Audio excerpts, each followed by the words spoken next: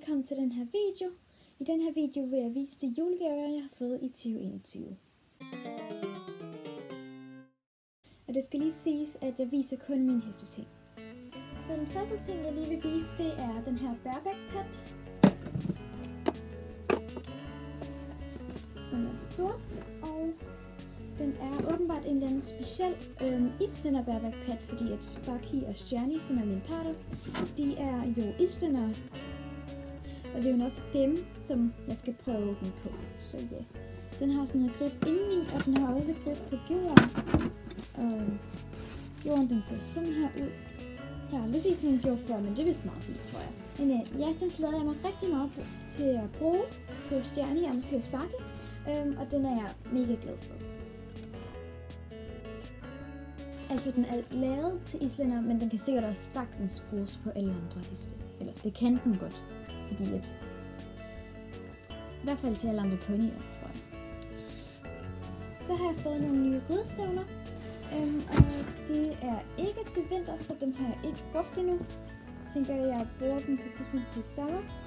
Øhm, og øh, vi overvejer lidt at bygge dem til et større, øh, til en større størrelse fordi at øhm, så kan jeg vente lidt med at bruge dem her, øhm, og så bruge, fordi det er jo ikke sikkert, at jeg bruger den samme størrelse til sommer, som jeg gør den til vinter. Øhm, fordi jeg har allerede vinterudstøvler, så jeg skal ikke bruge dem her nu. Så det kan godt være, at jeg når at vokse ud af dem, inden jeg overhovedet kommer til at bruge dem, så vi overvejer lidt bare at bygge dem.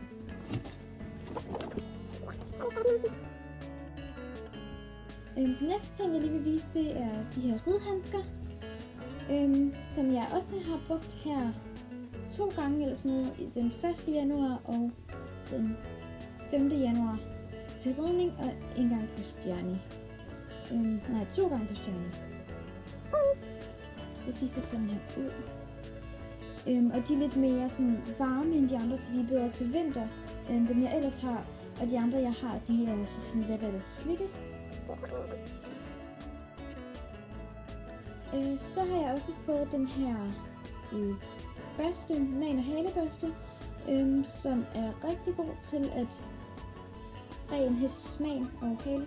Øhm, og jeg har brugt den en gang på Lucky, øhm, og den fungerede bare super godt i forhold til, at den anden den var en kamp, så den er ligesom sådan, ikke lige så god til ligesom at rigtig ud. Den er mere sådan til, når det er fint hår, og det var faktisk ikke, fordi det var lige blevet vasket. Det ser som det overhovedet er blevet vasket selv. Det.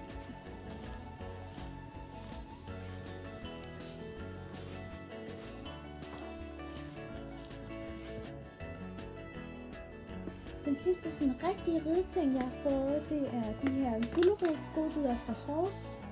Øhm, jeg tror, at der er et kilo i. Øhm, og Barkley, Stjerne og Lucky, de kan alle sammen rigtig godt lide dem.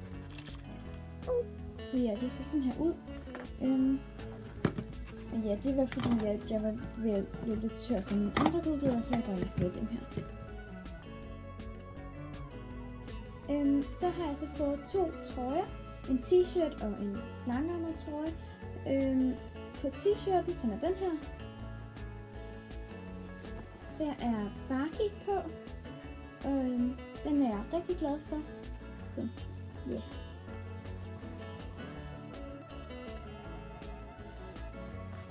Den sidste ting er så den her langærmede trøje med stjerne på, som jeg også er rigtig glad for.